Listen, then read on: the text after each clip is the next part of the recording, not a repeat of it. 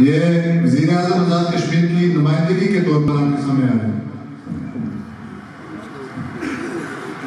الحمد لله وحده والصلاة والسلام على من لا نبي بعده أعوذ بالله من الشيطان الرجيم بسم الله الرحمن الرحيم يا أيها الذين آمنوا اتقوا الله وقولوا مع الصادقين صدق الله مولانا العظيم إن الله وملائكته يصلون على النبي يا أيها الذين آمنوا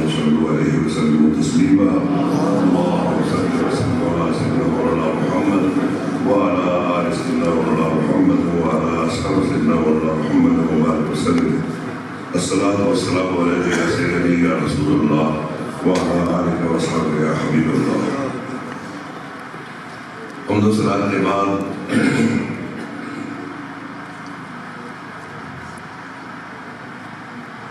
اس نور بری محفل میں جس میں مشاہد کے لیے بڑی تعداد اور بڑے بڑے دہی علماء کرام کی بڑی تعداد موجود ہے۔ مجھے چیز کے لیے کچھ عرض کرنا خاصا مشکل ہے۔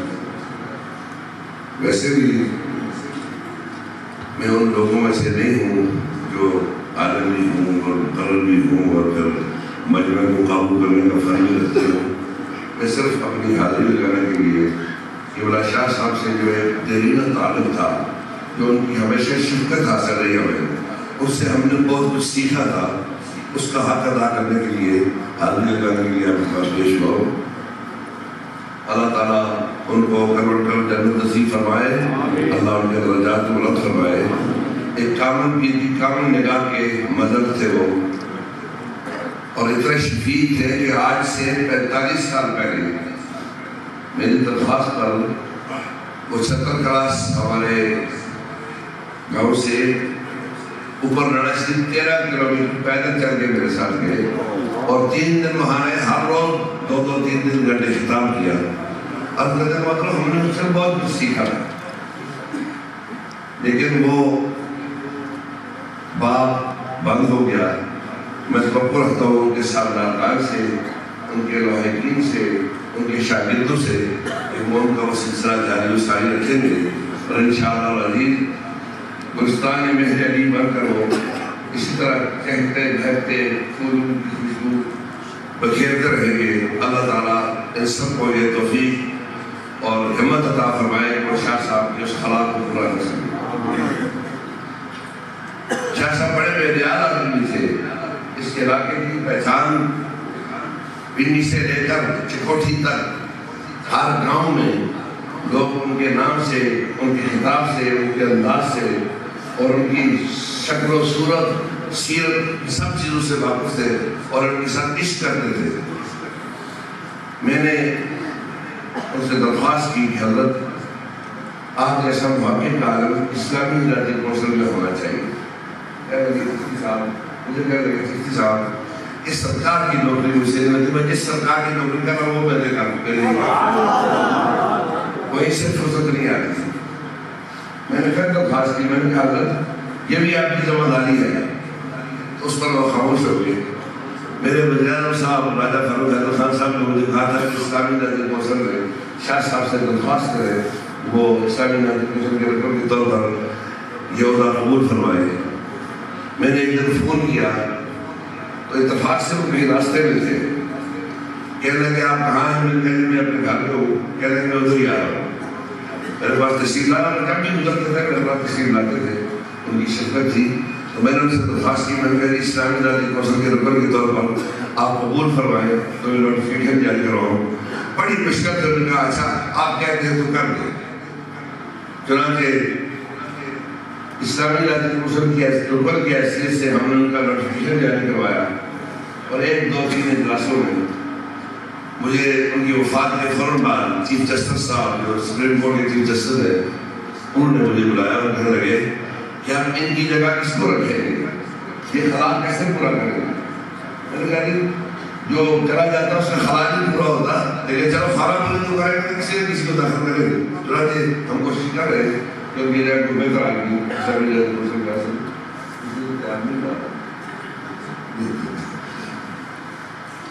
کر میرا کا مطلب ہے بے سا آدمی تھا اللہ تعالیٰ نے صورت بھی دے رکھی تھی اور سیرت بھی دے رکھی تھی علم بھی دے رکھا تھا انداز بھی دے رکھا تھا وہ ساری چیزیں ہمیں ہم نے ان سے بہت کچھ سیکھا اور انشاءاللہ عزیز ہم اس مشن کو سب مل کر ریل عباسی صاحب سمیت ہم سب مل کر اردو مشن کی تقریر تک پہنچانے کے لیے کوشاں رہیں گے اللہ تعالیٰ کو جلد الفردوس میں اعلیٰ فرماؤں عطا رات اب ہمارے جنرل صاحب کے بھتیجے کی وفات ہو گئی اور پھر ہماروں کے قریبی دوست راجہ ساجد صاحب جو صاحب صدارتی بشیر تھے، ان کا بھی انتقال ہو گیا۔